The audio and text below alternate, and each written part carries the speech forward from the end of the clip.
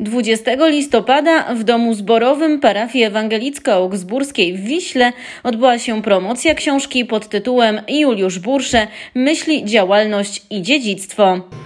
Siłą napędową dyskusji i sporów, bo niemal zawsze pewnie siebie i ambitny młody bursze Spotkanie promocyjne prowadził zastępca biskupa diecezji cieszyńskiej Kościoła Ewangelicko-Augsburskiego, a zarazem proboszcz parafii ewangelicko-augsburskiej w Wiśle, ksiądz radca Waldemar Scheitauer. Podczas tego spotkania profesor Juliusz Gardawski, prawnuk biskupa Bursze, przybliżył wątki biograficzne bogatego życiorysu księdza biskupa Juliusza Bursze. Natomiast wiślańska historyk Danuta Szczypka przedstawiła kontakty księdza księdza biskupa z Wisłą.